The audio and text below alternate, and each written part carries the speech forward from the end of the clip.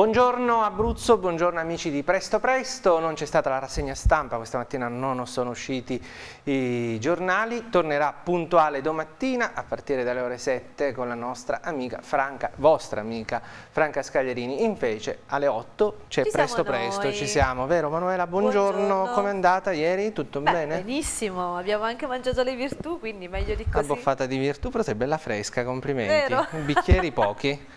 evidentemente no, morigerata perché sapevi che ti dovevi eh, svegliare certo, molto presto questa mattina sì. noi parliamo di cose serie stamani lo sai? cose serie, cose che meritano attenzione perché sono argomenti di cui si sente parlare sempre in maniera sommaria invece è bene approfondire no? perché abbiamo innanzitutto comincio dall'uomo perché sono okay. contro ogni forma di parità assolutamente vuole un po' di parità buongiorno Anna del Giudice ecco lo sapevo sapevo, guarda, lo sentivo che finiva. Medico veterinario, amica, e con lei parleremo mm, di animali, lo abbiamo già fatto più volte in questa trasmissione, in particolare di cani e di un parassita trasmesso da una zanzara davvero fetente, il pappatacio se non sbaglio, che, si, che parliamo della leishmaniosi è purtroppo una malattia diffusa e che si propaga proprio in questo periodo, ecco, eh tra sì. maggio e settembre-ottobre. Però non parleremo solamente di animali, anche no. se Tusio De Iulis gli animali li ama tantissimo. Eh, Buongiorno Tusio. In una maniera Buongiorno. quasi sconcertante, visto che ci ha raccontato dietro le quinte di serpenti che vagano nella sua macchina, quindi direi che... e stamattina, abbastanza... nonostante tutto, ha avuto anche il tempo di dare da mangiare ai pesciolini. Pensa. Certo, non cosa. i pesciolini rossi, pesciolini, però. insomma. Quanti ne sono di pesci, Tusio? Una quarantina, dieci rane e due rospi. Ecco. non, non, non, sono in casa, eh, chiariamo, sì. perché magari chi ci segue pensa che in giardino, in però sono bellissimi, hanno due occhioni rospi Ospi meravigliosi. Anche organizzarsi nella vasca da bar. ecco, magari. Però, eh, vedi, lui è diffidente nei confronti degli uomini. Ah sì? Assolutamente, si trova bene con gli animali sì, e, ah, beh, certo, e per ritrovare un po' di umanità a un certo punto ha preso l'aereo e ha cominciato a girare il mondo, no Tusio? Sì. Quando è cominciato? Oh, 30 anni fa.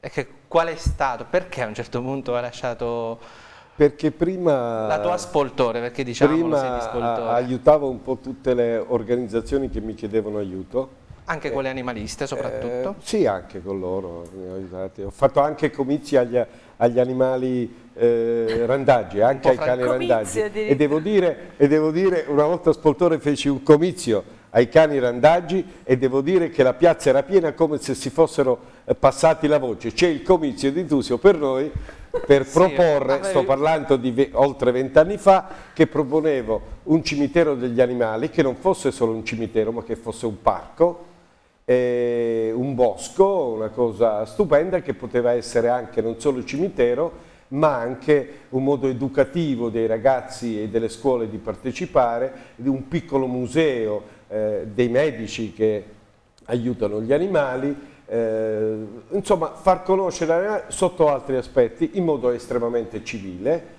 eh, cosa che ancora noi stiamo un po' alle, alle ecco, sei partito, sei, partito, sei partito, un po' in anticipo, poi invece eh. hai cominciato a, mm, come possiamo dire, a cercare di eh, coltivare e diffondere. Nel tua... 73 cominciai con Cuba. Ecco. Ma non per gita turistica, perché non ho mai fatto una gita turistica a Cuba. Ah, ecco, e come ci sei andato a sbattere a Cuba?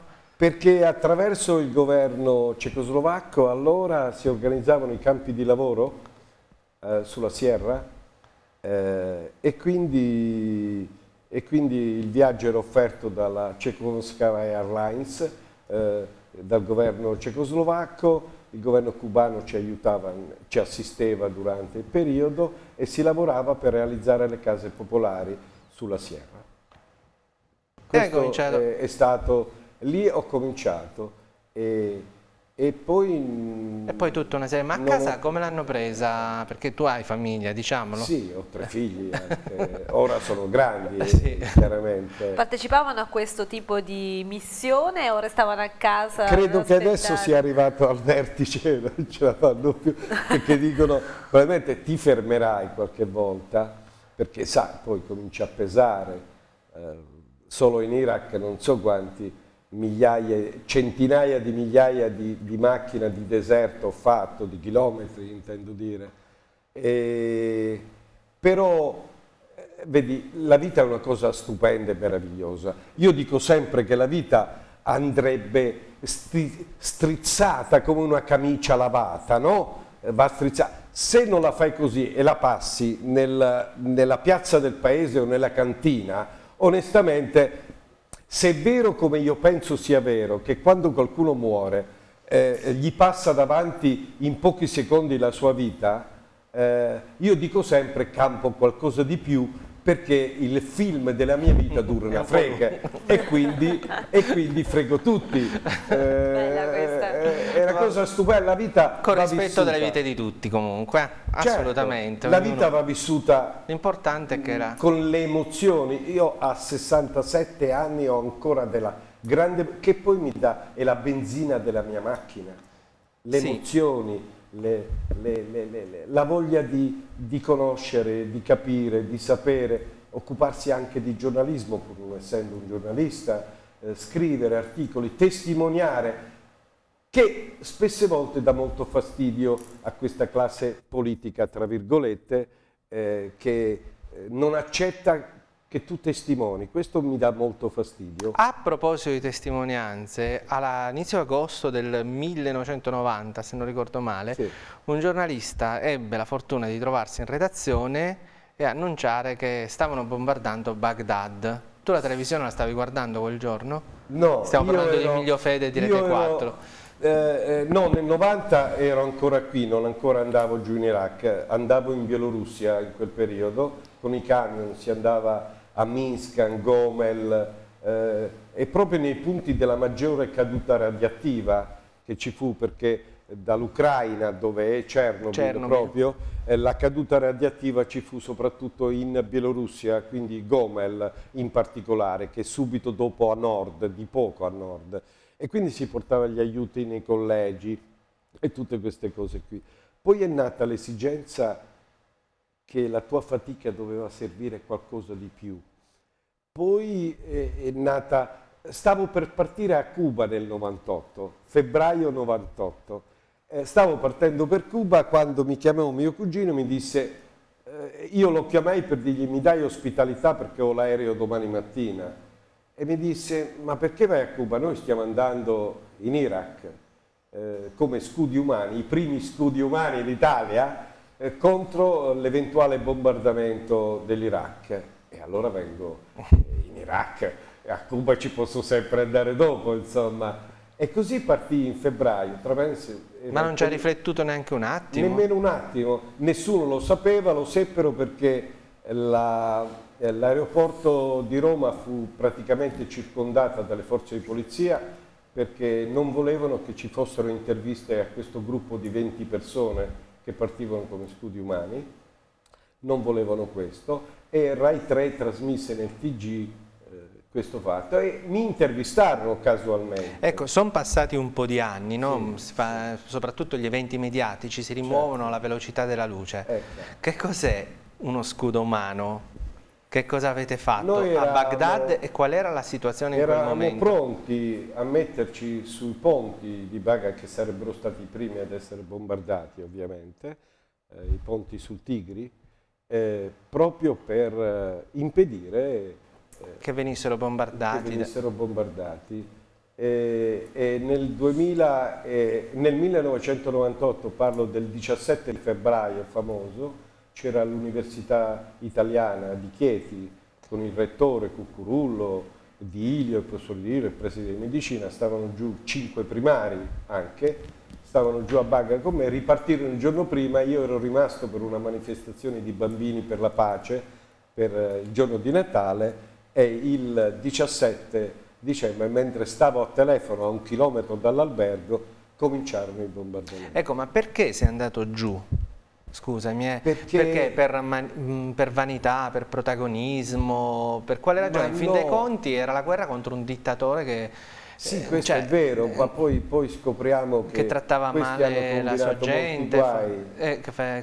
No, è la voglia di andare lì dove c'è guerra, sicuramente c'è la maggiore disperazione di questo mondo.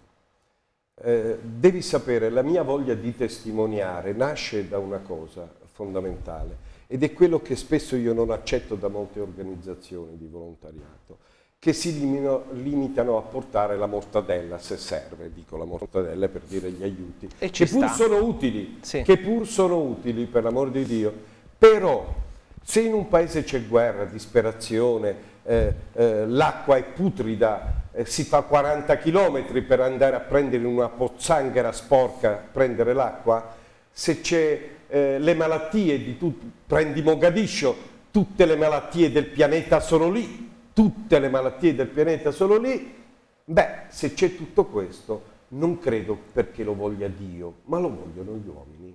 Allora cominciamo a scoprire cose diverse, chi fornisce le armi, chi dà certe cose. Ecco, nel 2000, nel 2000 più o meno scoprimmo a Mogadiscio un traffico di armi. Stiamo parlando di Corno d'Africa, eh? Di Corno d'Africa, di Somalia, di Somalia stiamo parlando, scoprimmo casualmente 18 eh, eh, camion italiani con targa italiana con armi, con cariche di casse di armi comprate al mercato di Bari, dove il ministro a domanda rispose non sappiamo chi le ha comprate, cioè è qualcosa di assurdo, arrivate al porto di Mogadiscio e lo stesso funzionario dell'ONU che aveva inserito l'Italia tra i paesi trafficanti di armi, l'Italia, non una persona, una ditta, ma l'Italia tra i paesi trafficanti di armi, eh, dove c'era lo Yemen, l'Arabia Saudita, eh, eh, l'Etiopia, l'Eritrea, Djibouti e l'Italia. E alla domanda il funzionario delle Nazioni Unite che chiamammo ed era in, in quel momento in Kenya, lo chiamammo e disse è più importante quello che il governo italiano non dice che quello che afferma, e cioè non sapevano niente. Eh, questa è, è stata eh, la risposta pungente e forte eh, del rappresentante delle Nazioni Unite. Senti, torniamo un attimo a Baghdad, sì, quando certo. tu sei, hai deciso di andare lì a fare scudo lo umano. scudo umano. Ma che gente hai trovato? Eh, c'è un po' la curiosità, no? Perché mm, certo. si pensa a un paese arabo, tradizioni e culture diverse, però è anche vero che l'Iraq era molto più vicino all'Occidente di quanto si potesse pensare e in secondo luogo ricordiamoci sempre che tra quei due fiumi, il Tigre e l'Eufrate, c'era, c'è la Mesopot Mesopotamia dove è, nata, dove è nata la cultura, dove e la civiltà. La civiltà. Sì. Sì, eh, che gente hai incontrato? Guarda, soprattutto la, quando parliamo di, Iraq, di una guerra impellente de, di uno dei paesi arabi più avanzati eh, del mondo arabo in generale, del Medio Oriente. Secondo, stiamo parlando di un paese che allora era laico, fondamentalmente laico, dove la vita religiosa era profondamente rispettata e non c'era tolleranza, nel senso che la tolleranza in qualche modo mm, è una parola brutta per me, significa sopportazione, io ti tollero e già è brutta. E invece questo non esisteva, eh, non c'era problemi, a Natale era festa per tutti i cattolici, che andavano a messa, il lunedì eh, dopo il successivo a Natale, il giorno successivo, era festa, i cattolici non andavano a lavorare, cosa impensabile in un paese arabo, musulmano. E... Cioè, quindi l'attrito teoricamente tra sciiti e sunniti... Che non è mai due... esistito. Quindi...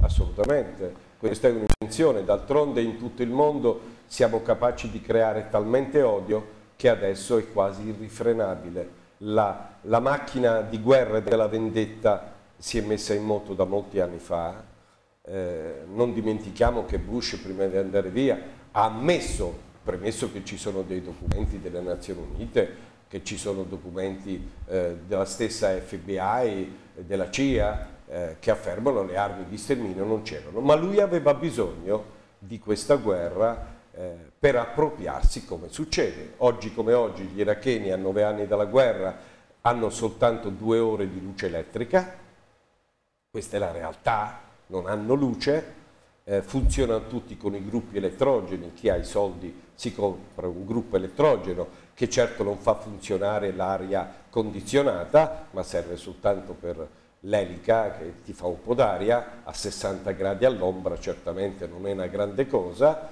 e, ed è questa la realtà, dove la gente va a prendere benzina per i gruppi con il bidone di 20 litri e non sempre lo trova la benzina, perché qualcuno In se Iraq. frega.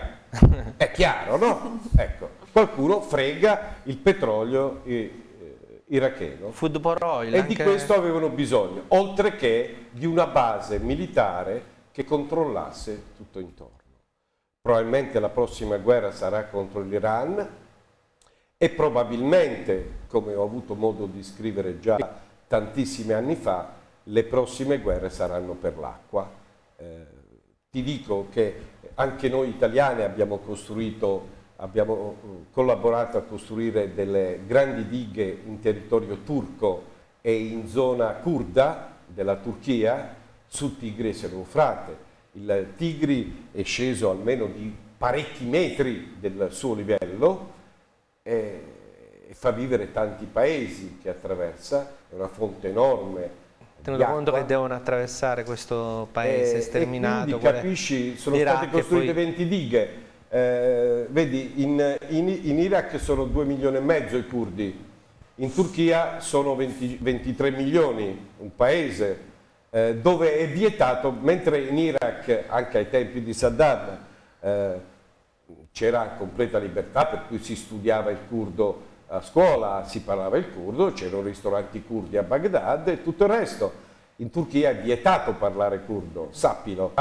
Eh, ecco perché i dittatori è pieno il mondo e i vizi dei piccoli dittatori sono tanti. Se noi vediamo i dittatori di paesi, di stati, se noi vediamo perfino dei sindaci che sono talmente megalomani che eh, allora allora, guardiamo bene i grandi piccoli dittatori. Allora, Tusio si entusiasma sempre tantissimo quando parla delle sue storie, ma anche un modo di fare, se vogliamo, controinformazione rispetto a quello ufficiale, anche, anche per fare una, una, prospettiva un po' diversa, no? anche per uh, solleticare, anche se ecco, sono le otte. Il TG nazionale alla fine del TG ci trasmette 10 minuti di moda e 4 di cucina al TG.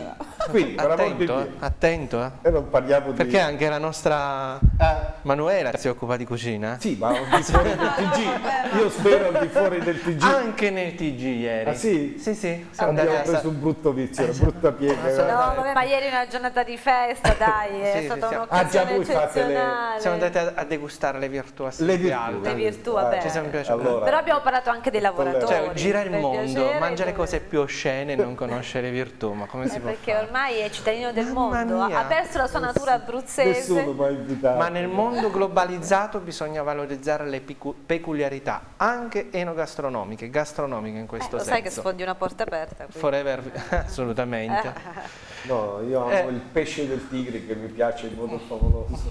Quando arrivo la prima cosa mi invitano gli amici del club, degli artisti dove vado a mangiare il è vicino accanto all'Accademia di Belle Arti. E che pesce è questo? Sono dei pesci giganti, bellissimi, me ne fanno sempre uno o due, due pezzi e si cucina in modo particolare perché questo pesce gigante, tipo carpa, ecco, mm per essere chiari, Nisguf si chiama, eh, si taglia a metà, si toglie, l'interiora, si toglie l'interiora del pesce e si mette su delle grate, su delle grate a destra e a sinistra, si mette questo pesce, okay? anche se vai al ristorante, può essere in ferro o in legno, quello più grezzo e popolare, e poi con i, i legni che si mettono al centro col fuoco, eh, con i carboni, il pesce piano piano non è affumicato, non è sul fuoco, ma ai lati, eh, sempre, semplicemente con il calore sprigionato da questa, eh, si cucina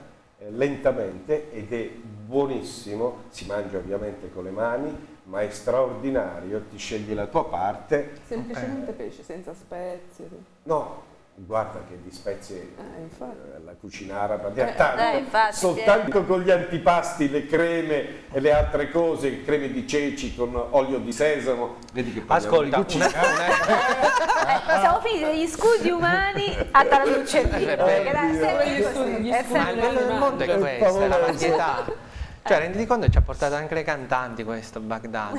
Dai, di raccontarci questa storia, Vabbè, una in particolare. Abbiamo portato una la Nannini. di artisti a cantare sì, per però, la pace, per l'estate. E poi Gianna Nannini. Che dopo l'hai portata anche qui all'Università. Che non è roba da poco, insomma. Eh, come ce l'hai portata la Nannini lì? Eh, mi chiamò un giorno, lei stava in ambasciata.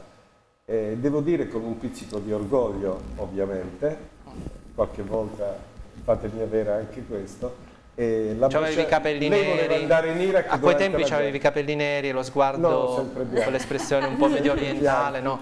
Eh, andò in ambasciata per avere il visto, per arrivare almeno al confine iracheno, Giordania e Iraq, perché voleva fare una sua esperienza personale. E, e, e l'ambasciatore disse, guarda, la persona che ti può accompagnare in questo, in Italia ce l'abbiamo, che durante la guerra ti potrebbe portare anche a Baghdad, dipende da te, dalla tua volontà, se hai anche la forza di andarci. E mi chiamò lei, gli dette il mio numero di telefono l'ambasciatore, mi chiamò, mi disse sei tu? Sì, io sono Gianna Nannini, ok. Gli dissi semplicemente stavo per partire, il giorno dopo sarei partito per l'Iraq, mi sarei fermato due giorni ad Amman per organizzare la partenza, attraversare il deserto. In Siria, altro bel posto, uh, Tutte queste robe qui. E, e, lei disse, va bene, io sono in Germania, ti raggiungo, ok, io ti aspetto ad Amman, tu mi dici a che ora arrivi all'aeroporto, ti vengo a prendere, le condizioni sono solo due, dovrai dormire dove dormo io, e non in un altro albergo di, di, di, eh? e l'altro, qualsiasi azione tu fai con le mani dalla macchina, non la fare prima, prima me lo devi chiedere, e non fare nessun movimento perché potrebbe costare la vita di tutti. Punto. Eh, che bei presupposti per partire. Lei si è attenuta a questo, gli trovai un posto perché non c'era posto da nessuna parte e lei lo scrisse su Repubblica allora che quando entrammo al Palestino Hotel in mezzo a una manifestazione di decine di migliaia di iracheni contro gli americani, eh, entrammo lì, eh, i camerieri, tutti i camerieri eh, mi hanno subito riconosciuto ed è uscita la camera per, per lei, dove le camere erano imbrattate di ogni cosa perché c'erano i giornalisti stranieri al Palestina a testimoniare quello che accadeva. E lei ha fatto, credo, una bellissima la Nannini che si raccomanda a Tusio. No, quando torni in Italia deve accadere Nessuno mi raccomanda per niente. Vabbè, però per fortuna c'è lo scambio di favori, quindi sicuramente... A zanzare come state messi a Baghdad? Eh, le zanzare sono toste. Sono toste, selvagge. Sì, anche perché il, il tigri eh, non taglia immediatamente eh, Baghdad, ma eh, si fa una contorsione dentro, dentro la città e, e, e quindi il fiume crea umidità. Eh, molta umidità, ci sono molte zanzare, ma io non ho questi problemi, quindi sto bene. Sei superiore. Lo chiedevo perché ecco, sta arrivando l'estate, come diciamo, alleggeriamo un po' la situazione, anche se per molte persone, per molti amanti degli animali, che hanno nel cane, nei cani i migliori amici, è un problema, è una preoccupazione perché si avvicina il caldo e soprattutto nelle zone di mare, umide, ma a questo punto direi che non c'è più posto, tra virgolette, sicuro, eh, si ripropone ecco, tra maggio ed ottobre, ritengo sia questo il periodo, dottoressa del giudice, ti chiamo Anna perché ci conosciamo. Sì, prego si ripropone questo problema della lesmaniosi che si scrive in una maniera abbastanza strana, ma che cos'è la lesmaniosi? La lesmaniosi, come dicevi tu, è una malattia che mh, ci preoccupa particolarmente, è ehm, molto diffusa purtroppo nelle nostre zone, un po' in tutte le zone che si affacciano sul bacino del Mediterraneo, proprio perché eh, l'agente vettore, cioè che trasmette questa malattia, è come dicevi tu una zanzara, più precisamente è un uh, flebotomo, una zanzaretta molto piccola queste comunque stiamo vedendo delle immagini che riguardano poi gli effetti della leishmaniosi, invece mh, se maga magari dalla regia possono mandarci l'altro video, sempre che abbiamo preso da Animal Planet eh, curiosando su YouTube, relativo proprio alla trasmissione, perché si tratta di un parassita di una particolare zanzara, giusto? Sì, ecco, questo... Eccolo qui. Questo è, è importante perché ecco, eh, il cane non infetta un altro cane, anche il cane malato non è in condizione di infettare un cane sano, a meno che non ci sia il vettore, cioè questa zanzara che punge, fa il passo di sangue sul cane malato e poi punge il cane sano. Chiaramente la zanzara in questione deve essere infestata, cioè deve contenere, deve tenere dentro questo protozoo che si chiama appunto leishmania. Ma è una zanzara particolare, non tutte le zanzare. No, appunto, ti dicevo questo, il flebotomo che è una zanzaretta piccoletta che punge soprattutto nelle ore serali e se infestata da questo protozoo diventa una zanzara pericolosa, cioè può infettare l'animale che viene punto. Ci sono delle zone in Italia particolarmente interessate no, da questo tipo di problema, mi viene in mente il Piemonte, comunque zone no, anche sono anche delle, recentemente delle... anche queste zone qui. Ecco, sì, diciamo da noi com'è la situazione qui in Abruzzo? No, la situazione è eh, grave soprattutto nelle zone eh, caldo-umide, quindi tutte le zone eh, di costa, le zone costiere, le colline eh, vicino alle zone costiere dove, dove c'è un clima caldo e un'umidità, un, un, tasso di umidità elevato che proprio rende possibile la vita a questi, a questi pappataci, a questi flebotomi.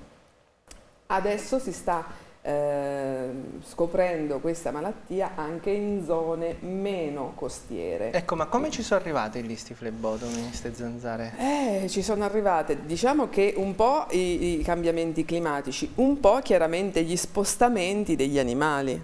Quindi anche delle persone, tra virgolette. Sì, eh, per esempio c'è anche questo per la, eh, i cacciatori no? che eh, spesso vanno in Croazia a cacciare e il cane viene, diventa vittima di una puntura di, una, di un flebotomo croato. e poi torna in, in, Piemonte o in Lombardia e quindi diventa un cane. Non ce ne vogliono i cacciatori ma noi siamo del partito degli animali. Eh beh, sì, vero? Eh. Tutti...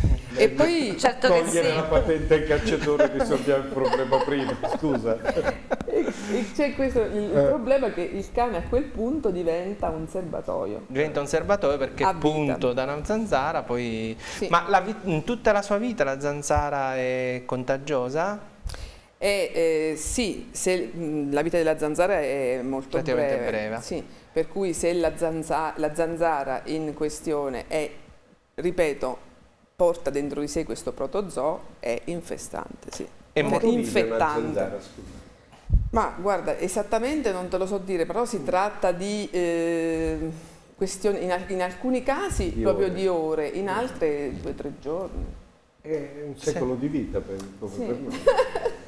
Tusio, dimmi la verità, tu mi hai detto che sei però, oltre animalista.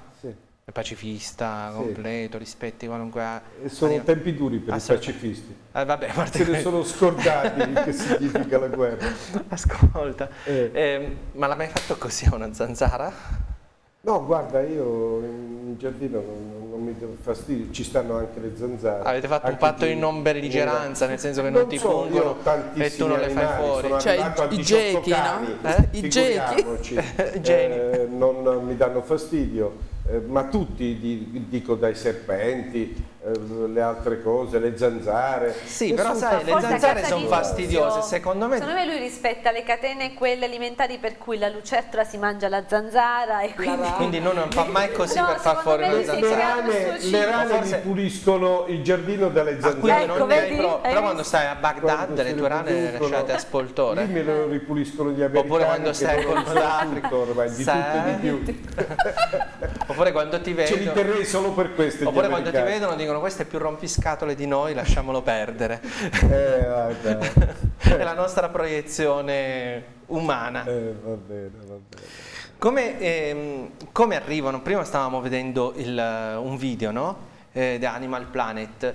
Eh, questa zanzara punge eh, il cane, dove di solito lo punge? Le fasce orarie sono quelle della sera sì, quelle dal serali, tramonto fino all'alba. chiaramente no? viene punto nelle zone glabre quindi dove non c'è pelo eh, sono le zone più, più, a rischio e poi chiaramente più a rischio un cane che ha un pelo molto, molto corto, molto aderente a, al corpo piuttosto che un cane certo. che ha una grossa quantità di pelo. Però ecco, in tutti i cani i tartufi sono glabri, eh, il padiglione auricolare è glabro, eh, le zone ascellari. Ecco, inguinali. queste sono dei, le immagini invece di animali che sono stati infettati da eh, leishmaniosi. Hai trovato delle immagini abbastanza terribili.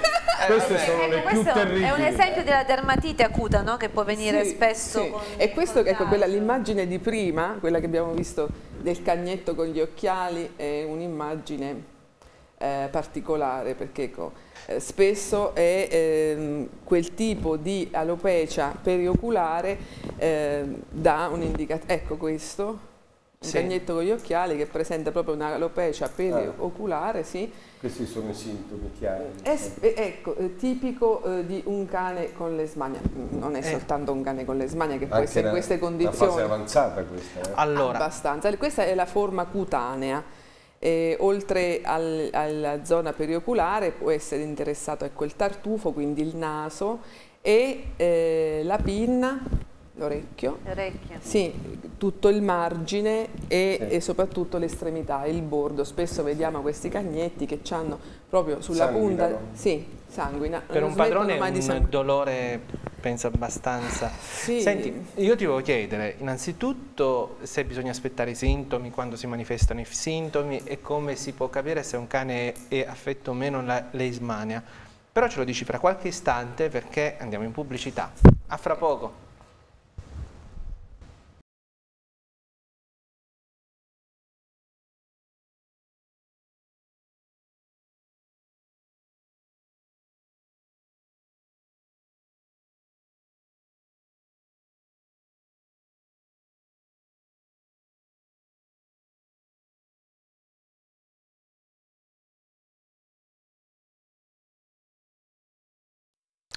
Bene, eccoci di nuovo insieme. Hai visto che disciplina che c'è in questa televisione? Che stava facendo comizi, stava chiacchierando tu, cioè in una maniera disturbava anche le zanzare. A livello di Gestapo, eh. Quiet, Poi la diretta lo ha richiamato all'ordine. Però noi stiamo facendo un discorso con Anna relativamente alla leishmaniosi. Allora, come si scopre l'infezione? Bisogna aspettare la manifestazione dei sintomi o si può scoprire prima? Eh, guarda, se una persona arriva ad avere un cane come quelli che hai fatto vedere prima, pensa che c'è ancora qualcuno che può pensare oh, ma sarà una forma di rogna, gli faccio un bagnetto. eh, no, sì, chiaro che eh, a quel punto la situazione è mm, abbastanza grave eh, e calcola che quella che hai fatto vedere, eh, in quei cani che hai fatto vedere nelle foto, sono tutti cani che hanno una forma di lesmania, perlomeno quella che si vede dalla foto, una forma di lesmania cutanea, quella che è più evidente, nel senso che appunto queste le lesioni di cui parlavamo, che sono lesioni generalmente non pruriginose, ehm, l'animale appare magro, eh, con tutte queste ferite, soprattutto... Quindi c'è una perdita di peso Sì, con tutte queste ferite soprattutto all'estremità degli arti, ehm, orecchio, naso, intorno il, la zona perioculare e, e lì eh, la forma eh, cutanea è abbastanza evidente, però eh, si può manifestare anche con una forma viscerale, per cui il cane apparentemente eh, lo vedi magro, eh, un po' svogliato, con un appetito anoressico alcune volte, ma la maggior parte delle volte con un appetito un po' capriccioso e fondamentalmente ti rendi conto che c'è qualcosa che non va.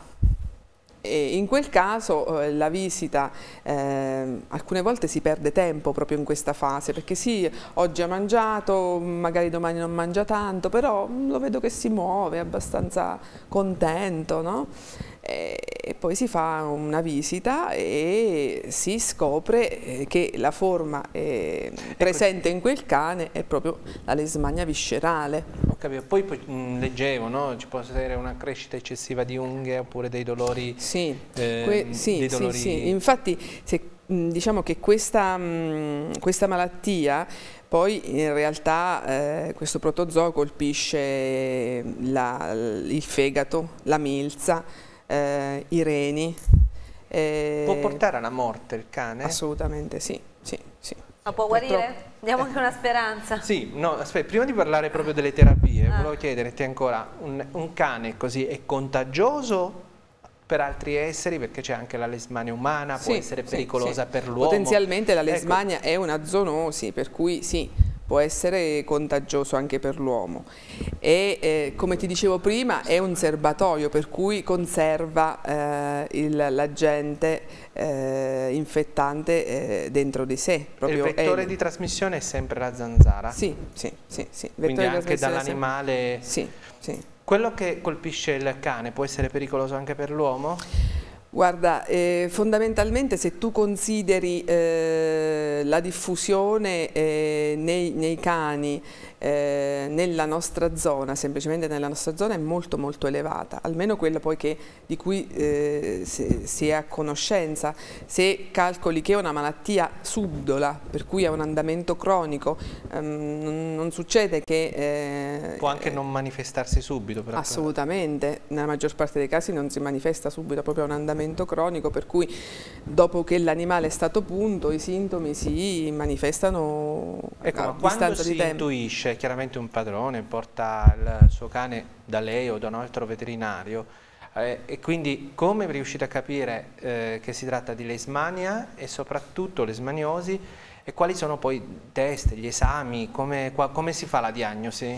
Allora, la diagnosi mm, si fa chiaramente, si fa una visita, si mettono in evidenza delle, delle caratteristiche che poi a una visita appaiono eh, più chiare, mm, per esempio possiamo trovare eh, un aumento del volume dei linfonodi esplorabili, possiamo trovare delle mucose molto pallide, l'animale si presenta magro, come ti dicevo, magari a livello uh, di cute ci, è presente una forfora, un odore che magari al, al, al, proprietario non è così chiaro, ma un odore un po' di sebo, un po' seborroico.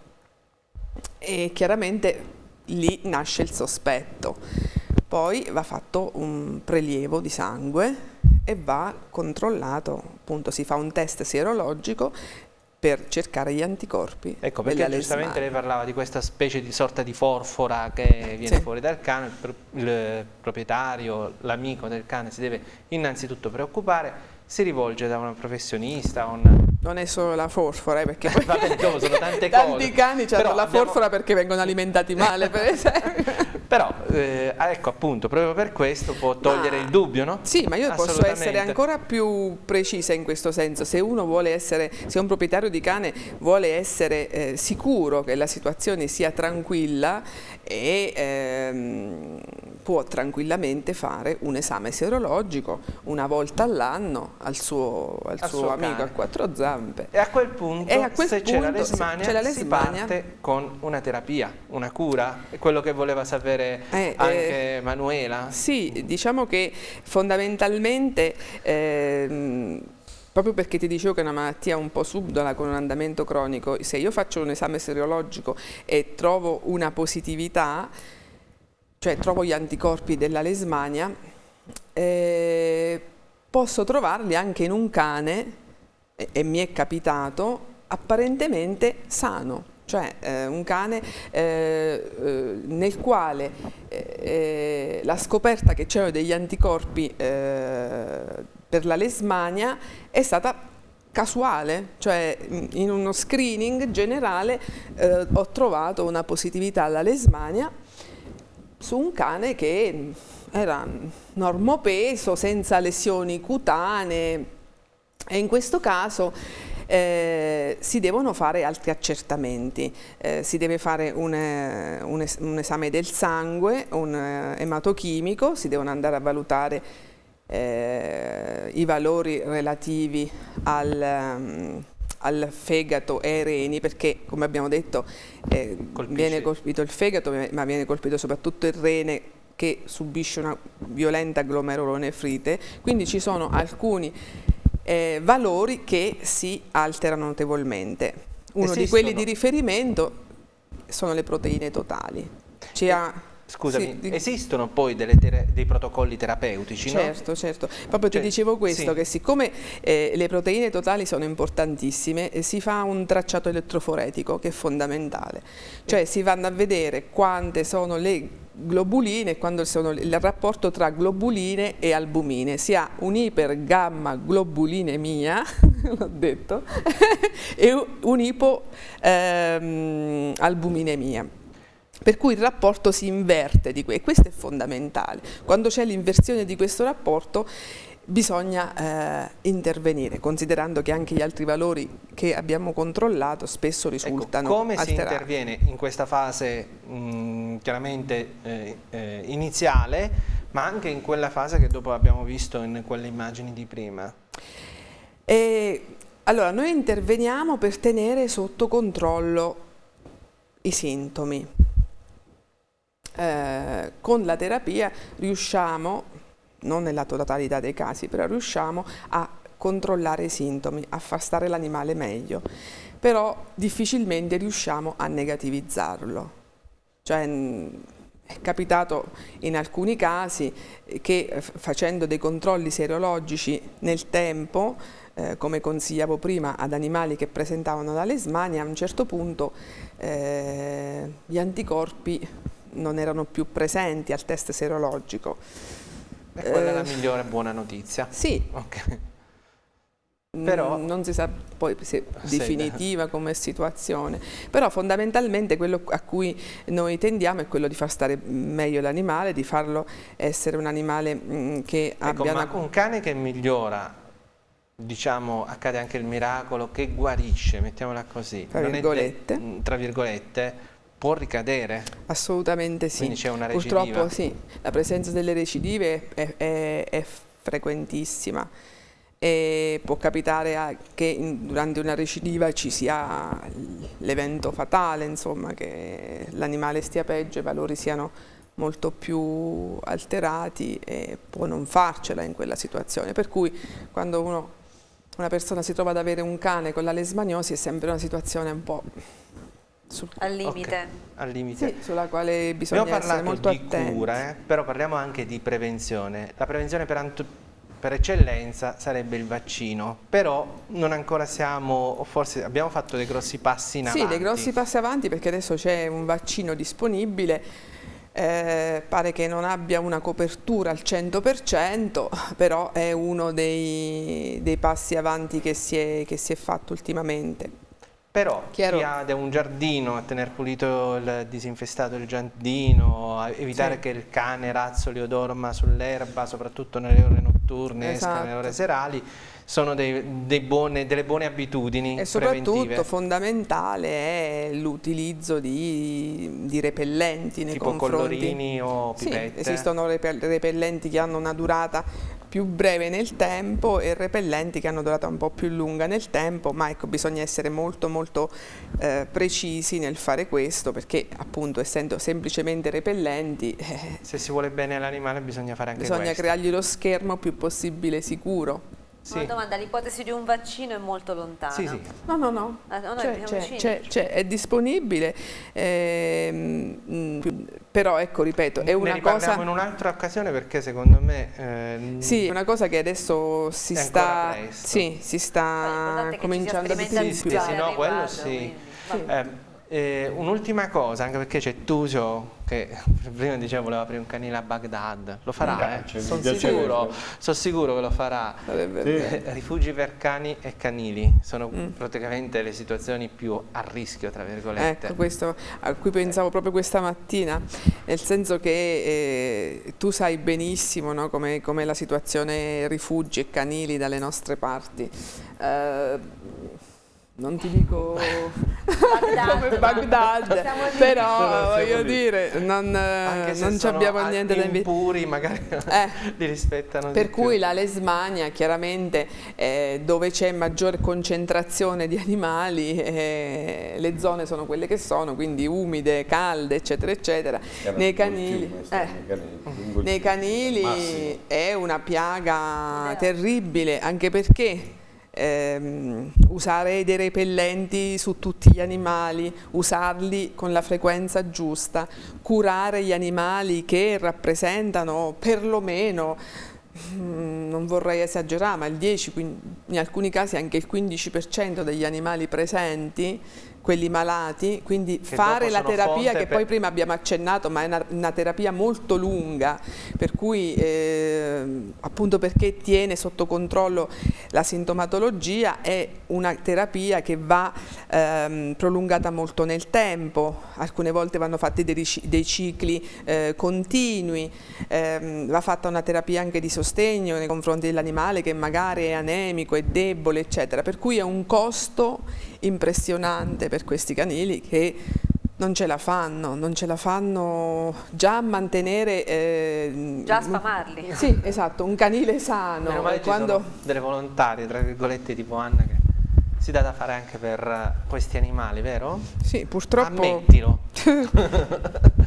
e, le fa onore perché sì, comunque sì. è un impegno serio che pochi si sentono di assumere. Eh, sì, purtroppo... È un, impegno, è un, impegno, sempre extra time, cioè eh, fuori dal proprio lavoro. Per Susio quindi... invece è diventato un totale extra time. Eh. Addirittura non, sa cosa, non, sa cosa, siano le virtù, ma sa perfettamente stavo, dove si trovi Santomero Palmense. Stavo pensando adesso alla fattoria di, degli animali di Orwell, ah, capisci? Ecco, dei sì. porci, dei maiali, di palla di neve, no? il capo dei, dei maiali, e stavo pensando agli animali che si ribellano e c'è il cane che fa scendere il padrone dalla macchina e l'abbandono lungo l'autostrada no, sarebbe proprio a leggere il contrappasso ma sì, ma dai. Magari. Vabbè, non vogliamo essere demagogici però eh, stimolare alla riflessione alla cultura è sempre un nostro compito che ci piace svolgere come noi siamo animali ci strani. piace, ci piace anche e soprattutto stimolare la cultura perché a Baghdad ha aperto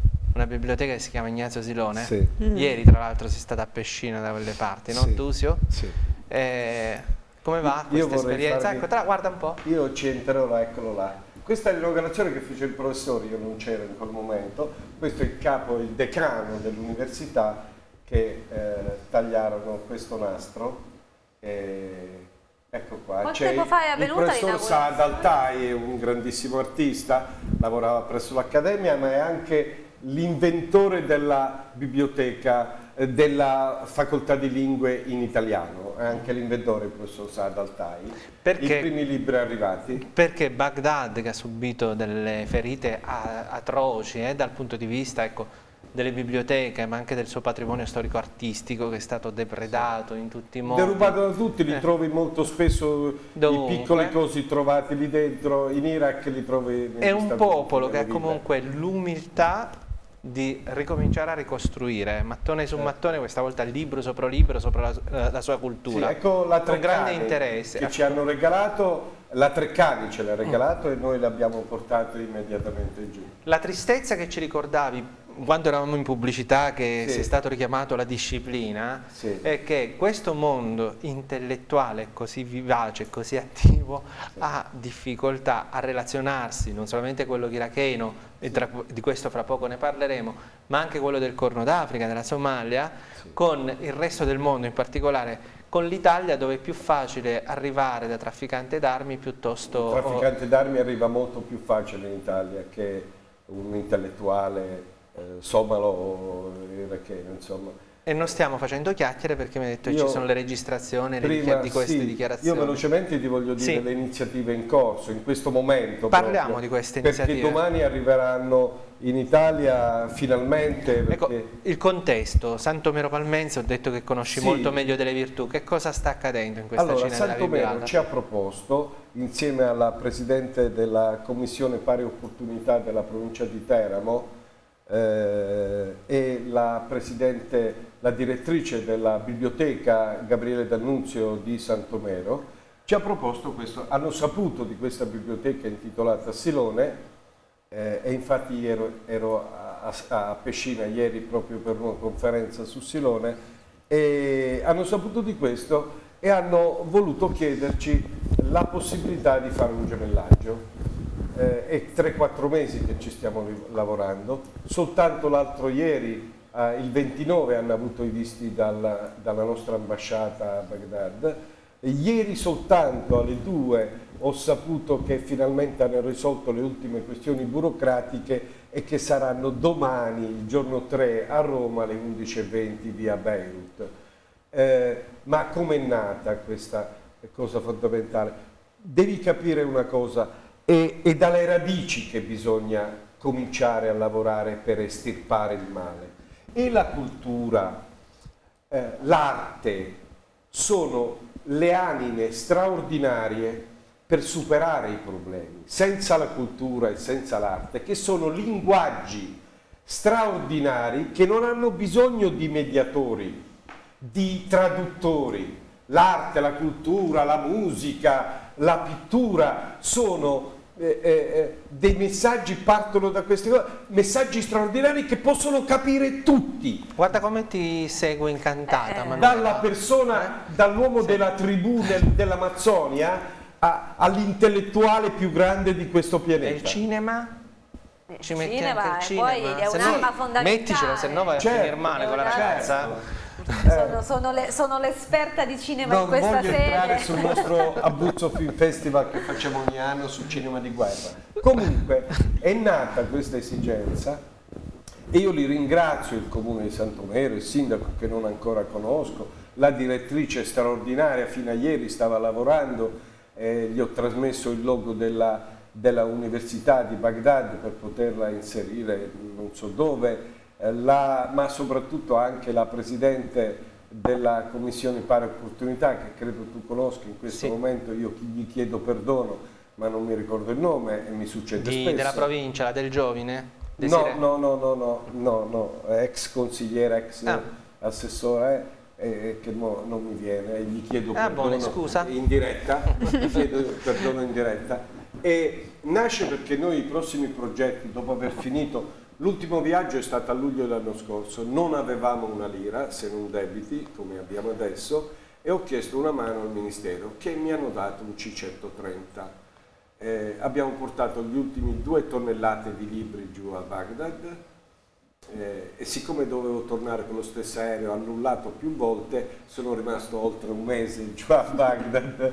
Posso chiedere che tipo di libri sono, a parte la Treccani? Ce l'ha regalato una casa editrice di Milano, eh, ci ha regalato circa 5 tonnellate, due ne abbiamo, abbiamo avuto l'autorizzazione per due tonnellate. Ma quindi misti tra saggistica, romanzi, poesia tutto. e poi raccogliamo anche quelli che escono qui dalle nostre riviste dei settimanali settimanali, per esempio sulla poesia italiana, eh, insomma di tutto e di più.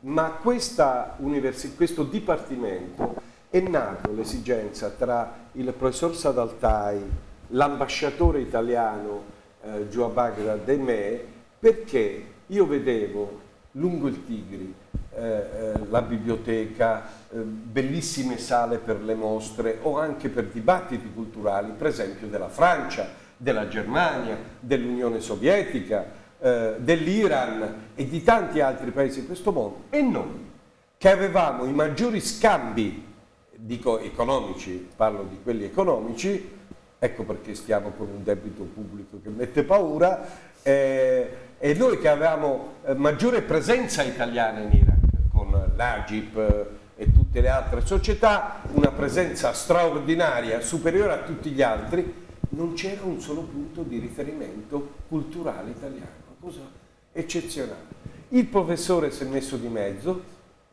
pochi mesi prima, 6-7 mesi prima della guerra nel 2003, eh, anche di più, quasi un anno, insomma nel 2002, nasce il Dipartimento di Lingua Italiana.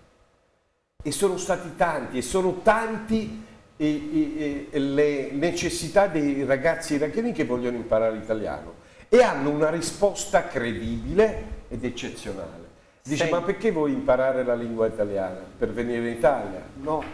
E qui dimostra l'italiano spesso un certo livello culturale piuttosto basso, eh, perché loro ti rispondono in un solo modo. Perché noi, iracheni e l'Italia, se mettiamo insieme la nostra ricchezza artistica, la nostra ricchezza archeologica, la nostra storia, siamo l'80% dell'umanità ed ecco il motivo perché i maggiori artisti iracheni si sono laureati in Italia nelle accademie italiane perché l'Italia è ancora un punto di riferimento forte. A Tusio piace molto raccontare queste storie. Eh, Avranno... chiaramente trasmette ah. tutta la sua passione, Sì, no? sì, vive lo diceva prima, no? Ogni attimo della sua vita lo vive con la massima intensità. Ma se non hai la passione... Con le emozioni. Mm. E tu magari a, a, ci vai a Santomero, sì? Domani sì, a, con certo, la tua il minimo, che ne certo. so, fare la biblioteca e devono stare all'inaugurazione. Eh, eh, magari sarà a Mogadiscio, per esempio. Eh, no. Non posso stare sarà l'occasione anche per... Arriviamo proprio all'incontro sì. di venerdì venerdì? Come ecco, no? perché venerdì, lo andiamo a dire, 4 maggio dalle ore 17 presso la sala marchesale del comune di sì. Santomero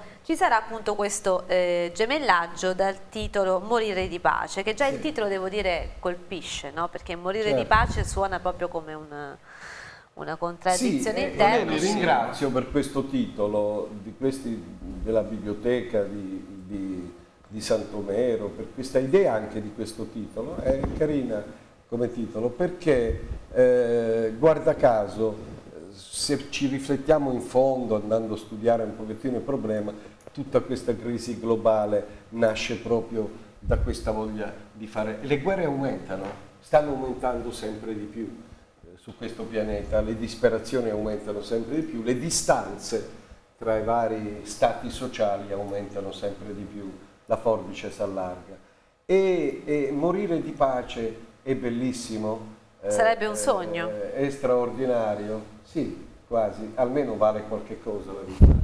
Eh, ed è nata questa cosa soprattutto per un bisogno, una necessità.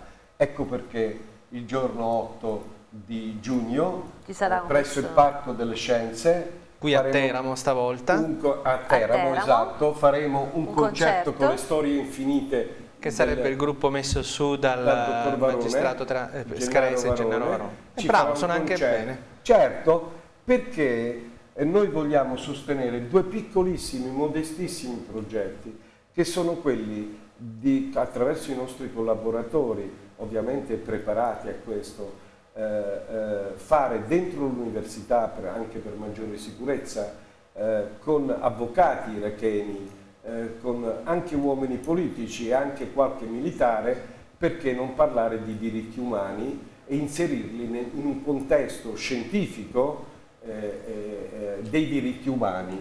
Eh, verso la donna, e verso gli uomini e verso tutto. Manu, io so che ci sono ancora tante domande, purtroppo il eh, tempo è tiranno, sì. io l'ho detto, è un'ora Tante cose volava. da dire. Comunque l'appuntamento è a Santomero perché tante e storie... Per, sì. Venerdì 4 maggio. 4 maggio vi invito a venire chi è soprattutto vicino. Poi è assolutamente eh. disponibile a raccontare tutte le sue storie che riguardano non solamente riguardano anche eh, Burundi, Corno d'Africa, certo, Eritrea in modo Eritrea particolare. In particolare.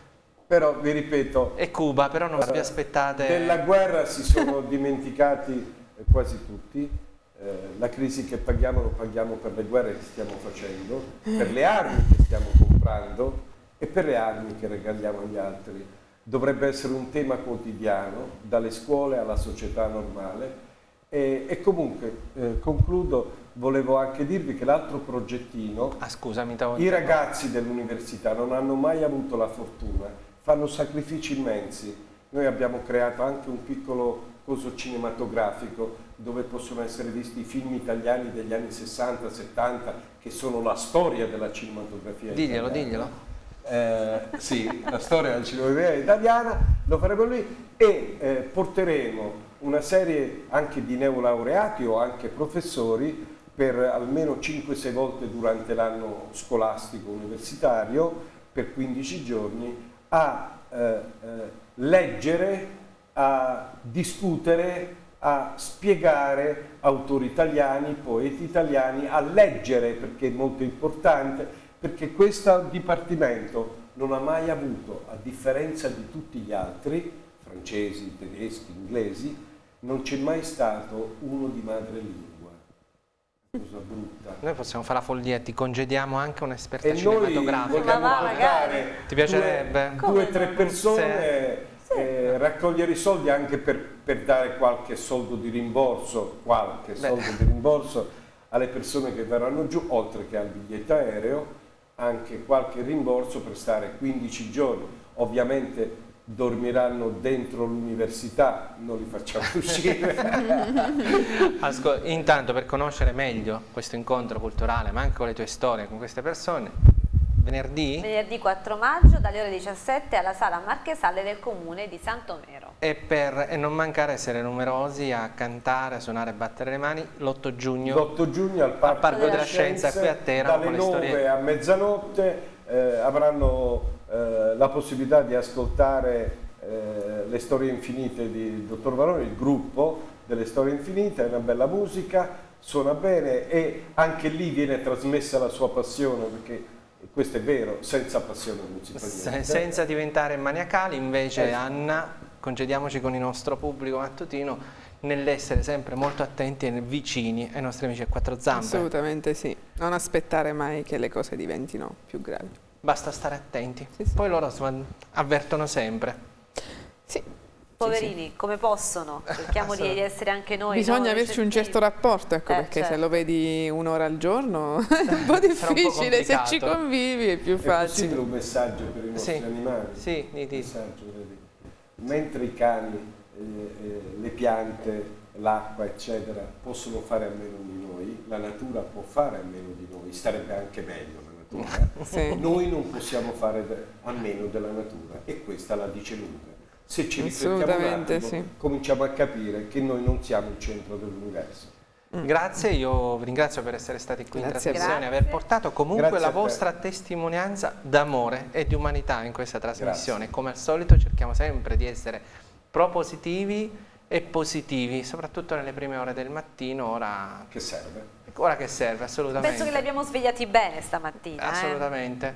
Grazie Anna. Grazie. Grazie, a grazie Tusio. Grazie, grazie a tutti. Ciao grazie. Manuela, noi ci rivediamo. Ciao direttore. Noi ci vediamo tra poco. Tra poco, assolutamente. Poi con, con, con il pubblico di Presto Presto, no, quella dopo ancora, con il pubblico di Presto Presto ci vediamo venerdì. Mentre puntuale domattina alle 7 torna la rassegna stampa. Ovviamente con Franca, con Scagliarini, Franca Scagliarini, e i suoi ospiti, quindi comunque presto presto è confermato anche a noi. Un bacione a Franca, stamattina non ci siamo incrociati. Sarà eh. per venerdì, arrivederci, buona giornata. Arrivederci.